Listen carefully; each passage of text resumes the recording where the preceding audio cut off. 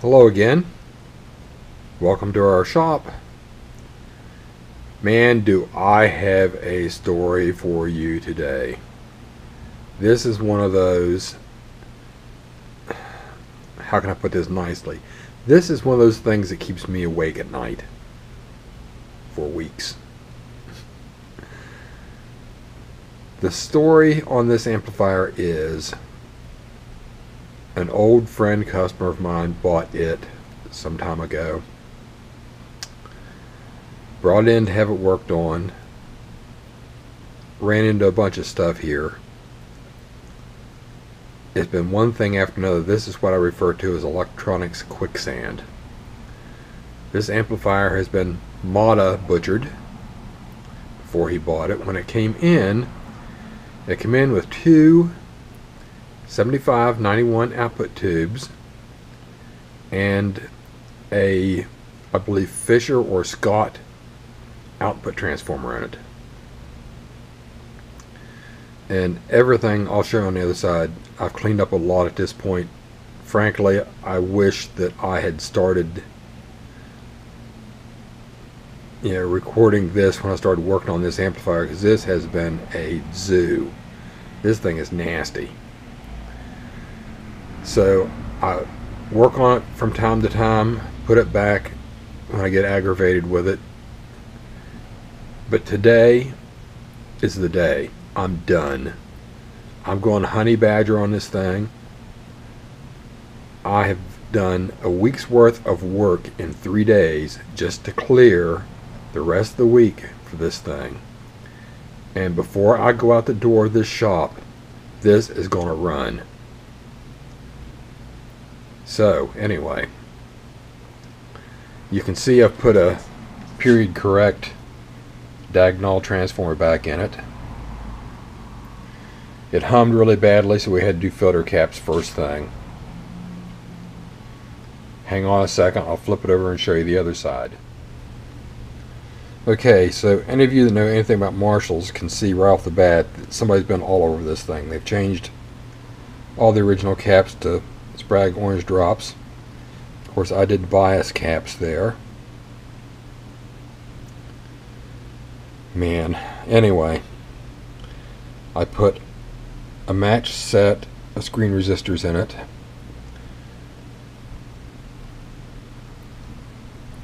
I had to repair the original impedance selector because it was all butchered up and they actually had hardwired it for 8 ohms so I straightened that up. And for you guys that's not aware of this, these impedance selectors have a bad name for being uh, unreliable and causing amps to blow. It's a reliable piece of equipment, you just have to maintenance it. You have to make sure that the pins are tight, not loose. If you lose the cap, don't jam a piece of wire in it as a jumper. They've also cut the chassis here and put a IEC connector in it. They've changed the two fuse holders. I'm leaving that stuff. They've had a lot of effects loop stuff in it and all that. It's all gone too.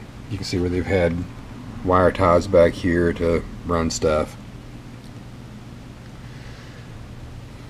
Yeah, they did that too. Anyway, I'm going to get this thing running today. It has a history of when I get it to where I think I've got it taken care of, it'll blow sub output tubes for no reason, sporadically, repeatedly. Believe me, I have worked and worked and worked on this thing.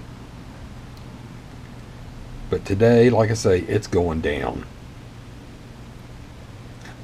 only one of us are going to walk out this building when I'm done. So, anyway, uh, I'm going to move on this and get with it. Like I said, I wish I'd started this at the beginning, uh, it's kind of hard to catch you up in the middle. But um, this was too good to pass up. Hopefully, I can get it figured out. I'm beginning to doubt my ability.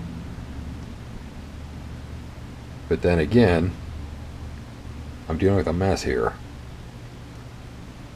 So, hang on, I'll catch up after a bit. Well, okay. First break. Anyway, found a few things.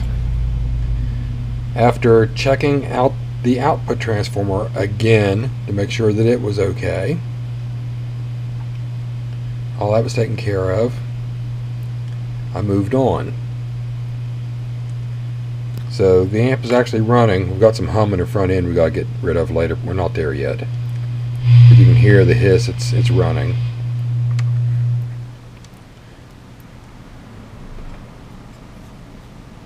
What I found... Oh yeah, gotta love this. You know what that is? That is one of the pins out of the tube socket. Out of one of the tube sockets. Guess which pin it was on? Pin 5. That's where your signal and your bias is. So if you don't know what you're looking at here, this is supposed to be a fork looking little deal. It's supposed to be one of these on both sides. Your tube pin slides down between it, makes a connection.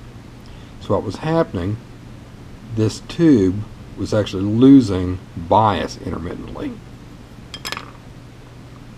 Couldn't see it because it's hidden down in the socket. But I found it. I'm not done digging yet. So that's one problem. Uh, okay, so now as it turns out. We have the amp running, but I can only get about 8 milliamps per tube bias wise. So looking into that, our bias control is not going down below 51 volts negative. So gonna have to do some digging there. Time to go spelunking. Okay. Well, I've come out of the cave and dusted myself off here. Anybody that's ever had to work underneath one of these boards without pulling the pots and everything off the front and folding it back knows what I'm talking about. The British certainly have their own way of doing things. Anyway. oh, bloody hell, I guess I didn't expect to have to work on it. Anyway. So, we have found our culprit with the bias. As it turns out, it was this 47K resistor in the bias circuit. And I'm going to show you what it read. See?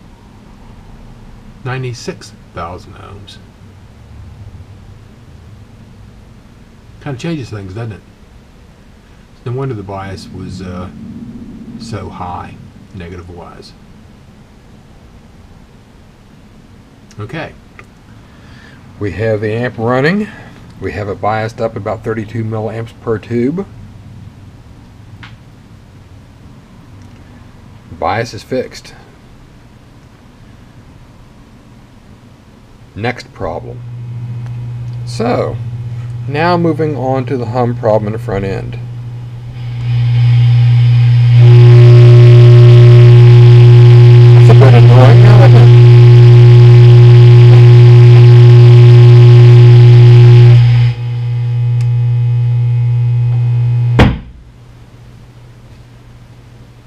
Hang tight. Oh yeah, I've already found what the problem is. This is just for your benefit. There. Same settings.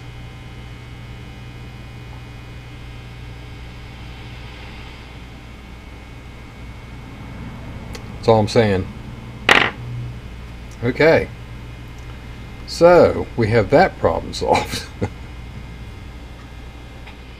Alright. Well, I think we have won.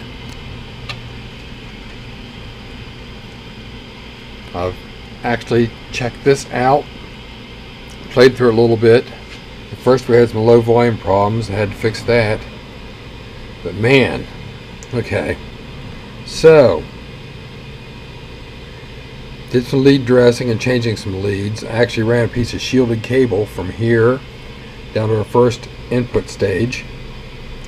Try to get rid of some noise and oscillations there. Shortened up some other stuff and did a lead dress down here. Rerouted the uh, heater leads a little bit to get rid of some hum. Try to clean up the wiring here a little bit as much as possible. As it turns out, the original 470k resistor here was open. So that's where my volume problem was. Where the uh, first stage cascaded into the second stage through the low gain input. Cleaned all the pots, rearranged the wiring here. You hear there's a little hiss going on here, but it's not too bad.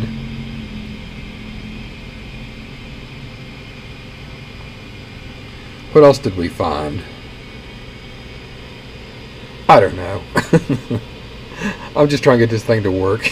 but I think I finally made it. Cleaning up someone else's mess is always a hard job.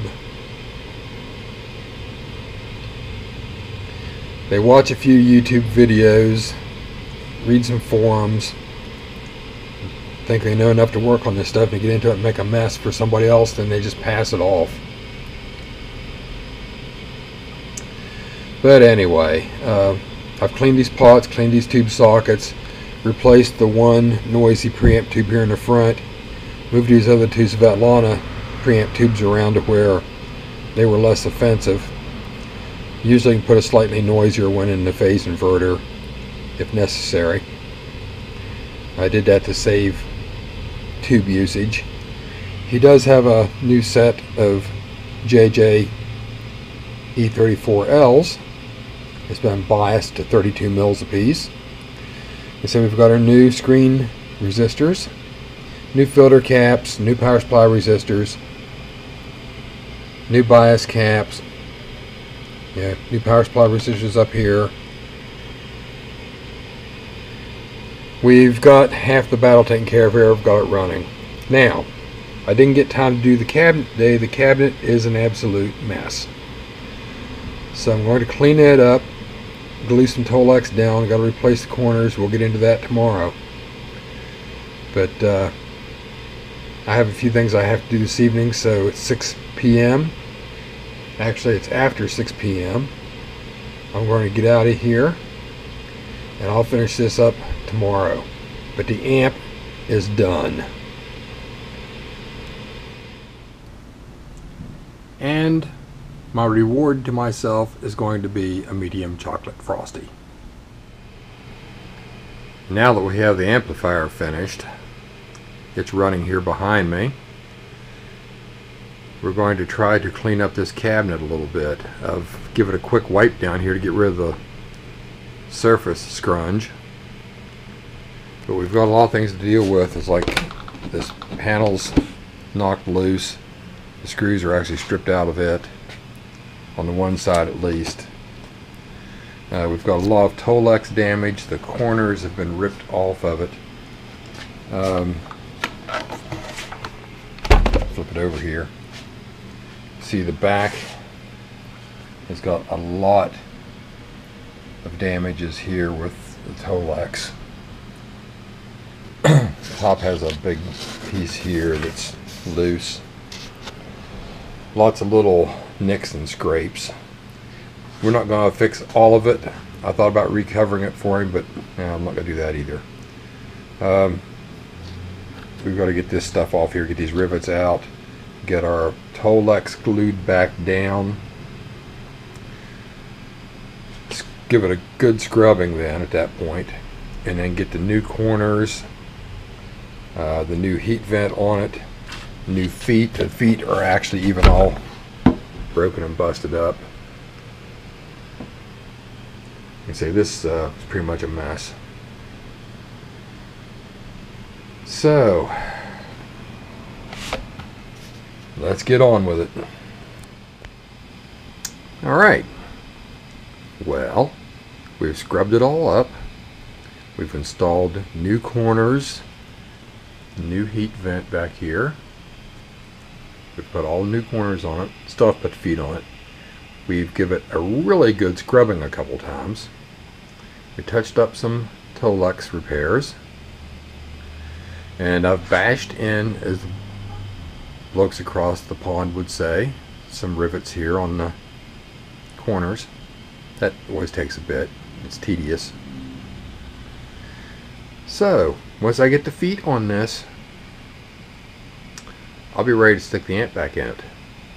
We're almost finished. And there we have it. An abused JCM 800, 100 watt, rehabbed, and ready to be returned to the wild. It was an ugly one. Again, like I say, we don't get the easy jobs in here. So, just want to give you an idea of uh, how things can go south pretty quick. How difficult this can actually be. So, until next time, play nice. I'll see you later.